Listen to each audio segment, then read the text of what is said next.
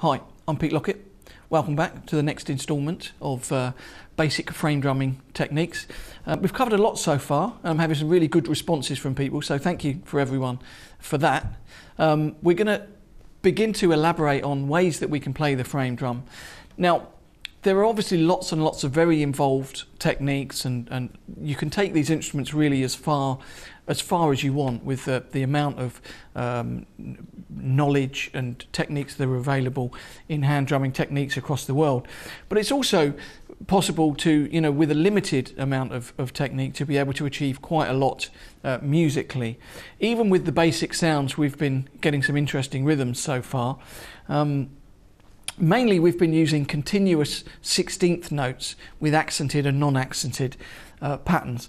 But it's also possible to begin um, breaking the rhythms up. So you're not playing all of the continuous 16th notes the whole time, you're just playing the main notes of the rhythm. I often get asked for this type of approach in the studio where people don't want a really busy pattern um, throughout the whole, you know, part of a, a tune or part of the music that I'm recording. And, and so this is another useful uh, technique to begin to uh, have some new approaches uh, to the drum or different approaches to the drum. So if we look at example one, um, we've got a very, very, um, a very simple pattern and it involves the bass tone and the, the high tone and it's a very simple rhythm.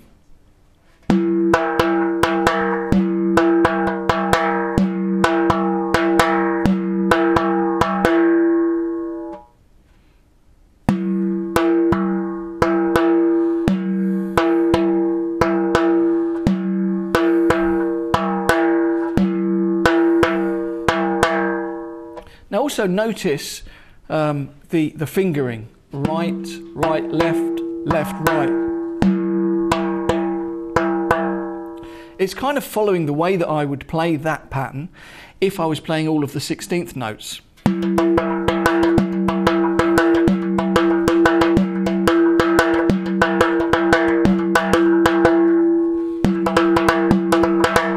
Without the 16ths.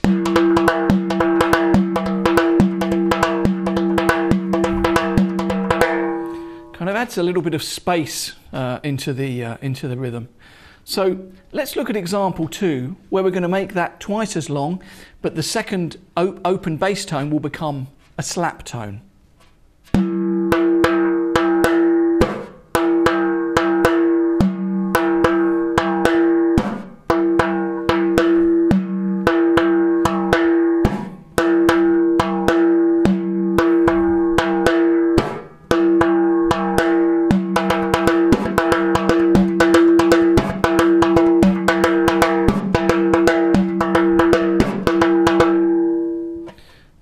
More detailed analysis of the slap stroke, look back at last month's uh, lesson where I look at that uh, in detail.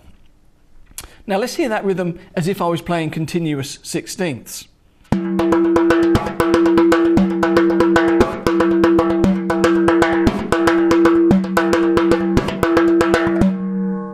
And without.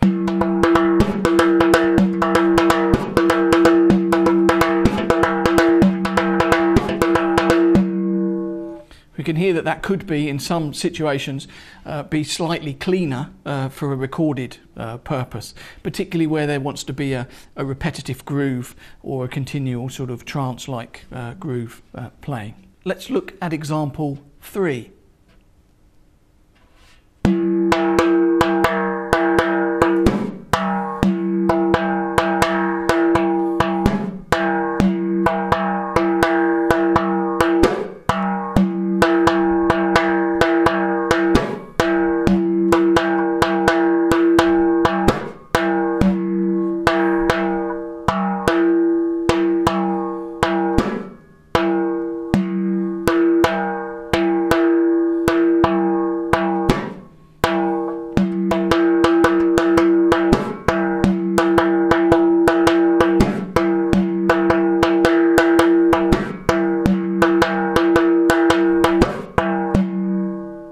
And again, this is what that would sound like with continuous sixteenths.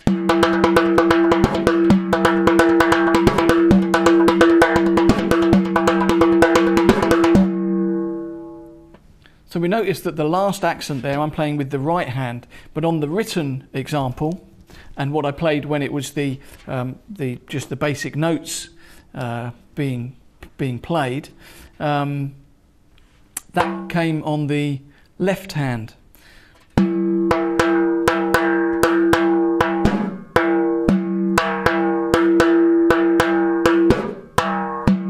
because we're not playing the continuous sixteenths, we have the space to be able to play at the end with a little uh, small gap. So let's look at example five, which takes us back a little bit to some of the uh, 332 patterns um, that we had a little bit earlier um, in the series. So the basis of this actually is, is this pattern. One, two, three, four, five, six. One, two, three, four, five, six. One, two, three, four, five, six. That's the six. So we've got six, six, four, or three, three, two, involving the bass tone and the slap.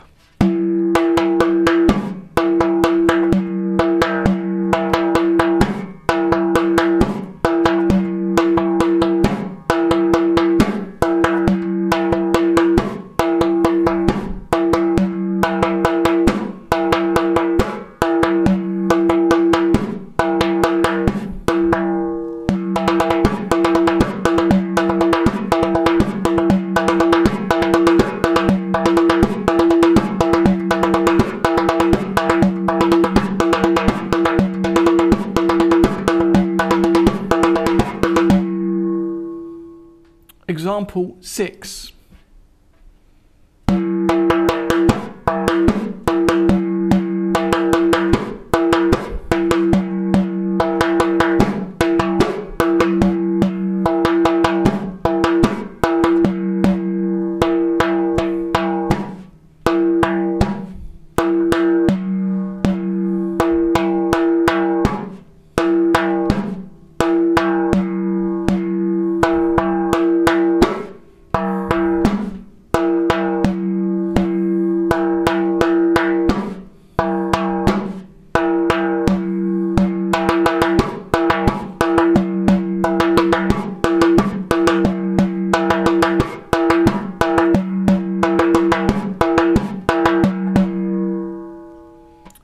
Example 7.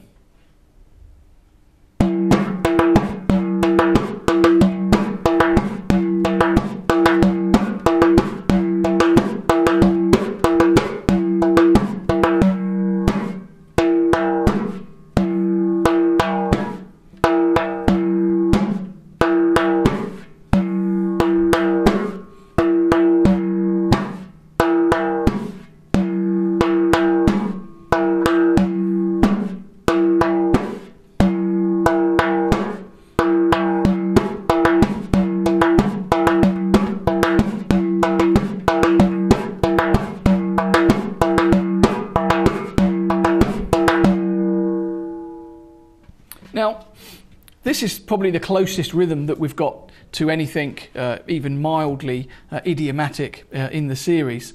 And you can really see from this rhythm the benefits of playing without all of the continuous sixteenths. And this type of approach um, would be often used by the supporting drummers in, in an Arabic ensemble. So people playing some of the uh, mazhars and different larger frame drums, supporting maybe a, a solo darabuka or um, different uh, solo drum in, in the context of the music. And they would very rarely play all of the sixteenths. They would often play it stripped down in the way that we're looking at in this lesson. So let's look at example 8.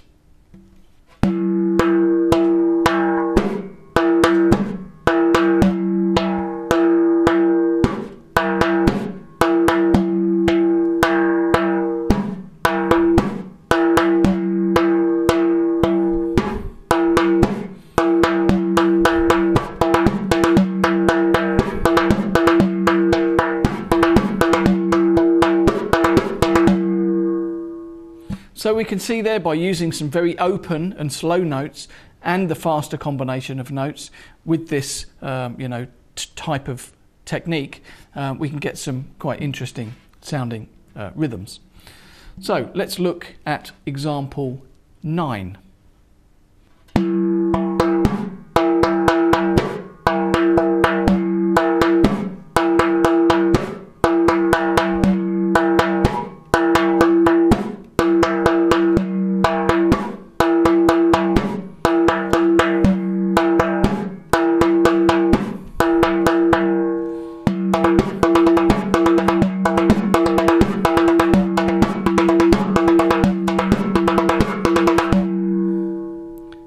Finally, we'll look at example 10, which is using the, the three note pattern um, in sequence. So we have 3 3 3 3 2 2.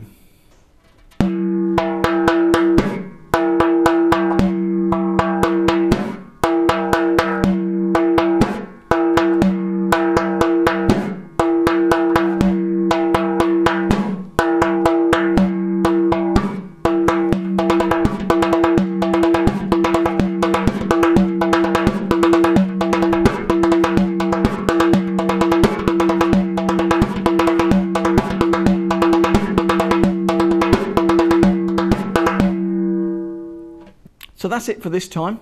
Hope you've enjoyed this amazing drum, the frame drum, on, uh, on another leg of our uh, amazing journey of frame drumming. What we can see so far is with the, the small basic units and a few basic sounds, we can already make some interesting and, and quite elaborate sounding and funky uh, rhythms. So we're going to continue further with that next time. We're going to take it, take it that next uh, that next step further. So um, hope you enjoy what you've got for this month, and uh, see you next time.